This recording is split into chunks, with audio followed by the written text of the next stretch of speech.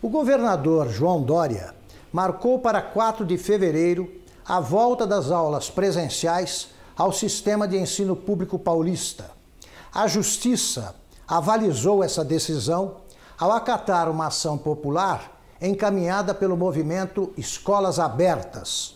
Esse movimento reúne milhares de pais decididos a livrar seus filhos da mais extensa quarentena escolar do planeta. Só defendem sua continuação os sindicatos que congregam professores e funcionários da rede pública. O prefeito Bruno Covas, claro, só vai dizer o que acha no mês que vem. Ele ainda está pensando no assunto.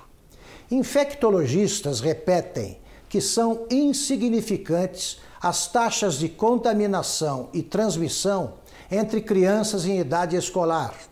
Psicólogos alertam para os distúrbios que ameaçam a saúde mental dos alunos. Pediatras repetem que alguns efeitos da quarentena são visíveis a olho nu, a obesidade, por exemplo. Alheios a essas evidências, sindicalistas e professores que trocam aulas por militância política querem a utilização do ensino à distância também em 2021. Pena que não exista vacina para a teimosia oportunista.